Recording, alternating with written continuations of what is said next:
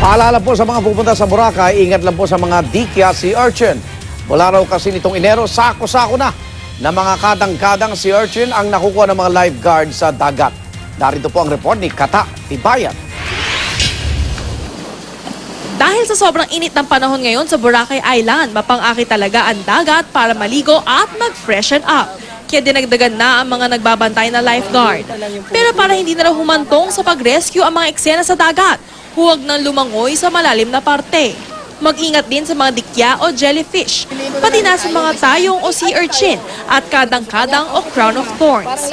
Kamakailan lang, nakatapak si Cristel Lagleva ng sea urchin. Mahapdi siya na parang namamanhid. Lang naman kasi hindi naman natin siya mapipigilan eh. Kasi kasama na yan sa scene natin, di ba? Parang oh, nature na yan. So, ingat na lang. Tingin-tingin lang din. Ayon sa mga lifeguard, magmula ng Enero, sako-sako na ang nahuli nilang sea urchin. Pag nadisgrasya nito, maiging wag munang bunutin ang mga tinik nito. Apply ng ah, warm water, apply ulit ng alamansi. Bakit po kalamansi? Anong nagagawa ng kalamansi? May acidic factor May kasi acidic factor kasi ma'am na yun lang talaga makakalaban sa poison niya ma'am. Pero sa gitna ng pag-iingat, huwag pa rin syempre kalimutang mag-enjoy.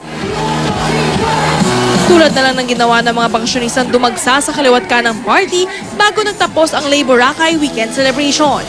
Ang ilan nakipagsiksikan sa foam party na sinamahan ng bubble bath. Para naman sa mga nasa Boracay pa o papunta pa lang, tiyaking prepared ka para sulit ang bakasyon. Kabilang sa mga dapat baunin ang sunblock, shades, sombrero, tubig o juice para hindi ma-dehydrate. Para sa unang balita, Katatibayan Reporting.